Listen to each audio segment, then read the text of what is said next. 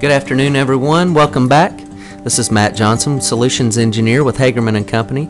Today we're going to do an introduction to phasing in Revit architecture. And I've got a project set up here, and I've done a simple building with an existing part of a building, a phase one and a phase two. Now I've got uh, each one of the phases adding on to the other phase to kind of keep this simple. And I've added some doors in here. I have door one, which will be deleted uh, when phase two is built, and then the door number two will be added on in phase two.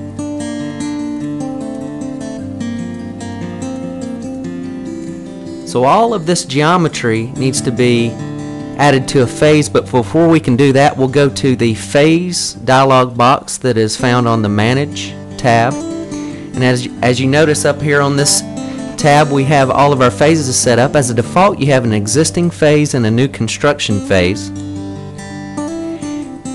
And what we want to do is, is since we have an existing phase 1 and phase 2 we want to keep the existing phase and we want to add phase 2 but before we can do that we'll just rename uh, the new construction phase and call it phase 1.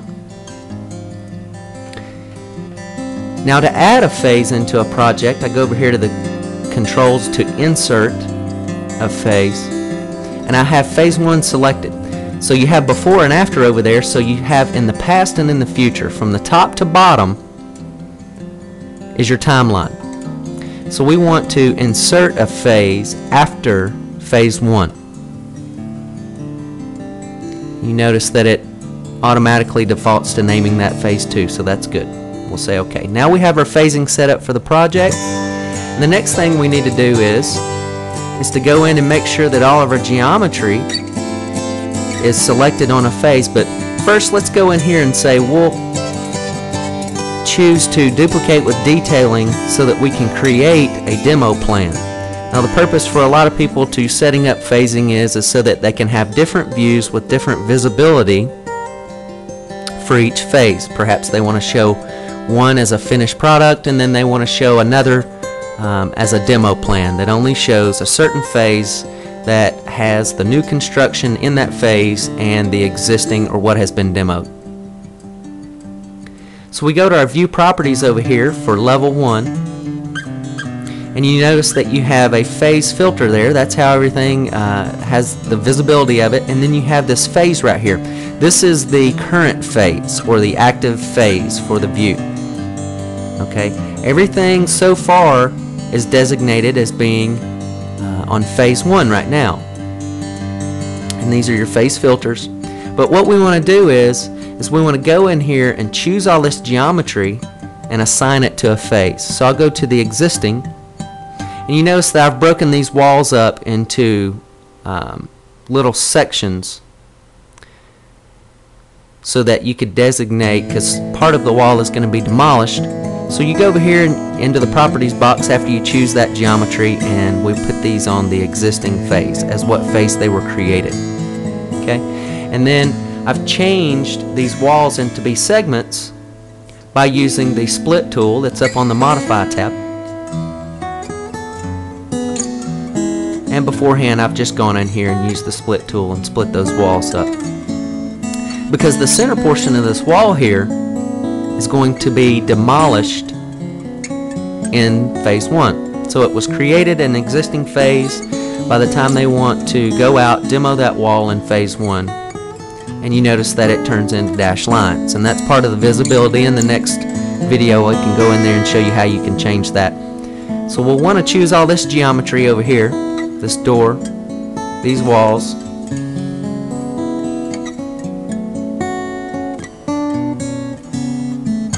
and then go to the properties box and make sure that those were created on phase one.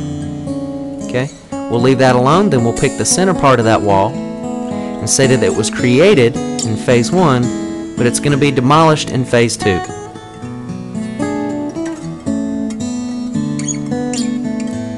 And we can apply that.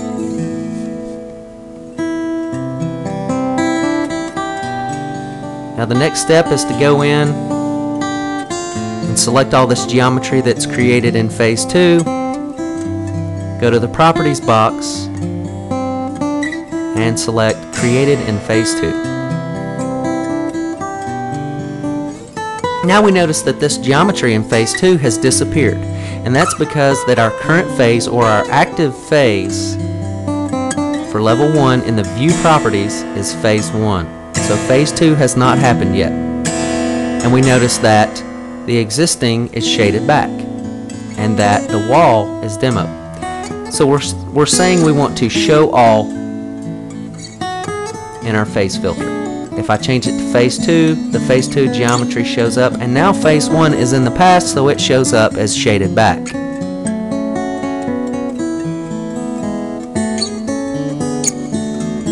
If I change the existing phase, we notice that phase 1 and phase 2 geometry has disappeared because they haven't happened yet. Change this back to phase 1.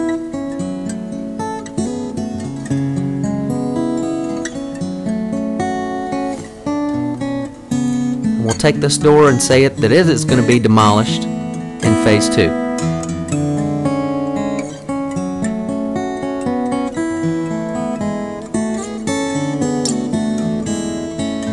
Now when we change our phase or our active phase to phase 2, we notice that the door is shaded back.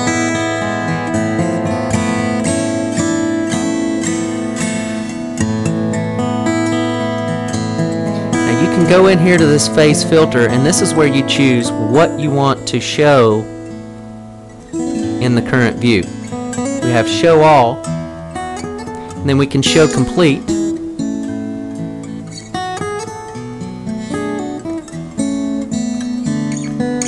Now there are no demo or existing elements showing. We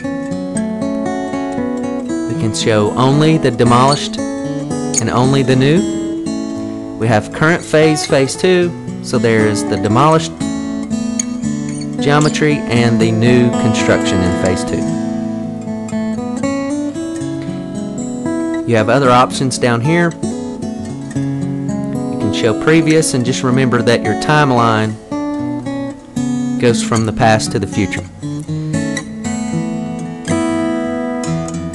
We'll change this back to phase 1. We'll go to level 1 demo plan. And if we change the current phase and only demolished and new, it only shows the demolished walls and the new construction in phase two. And the next video will show how we can um, change the visibility. Thanks for watching.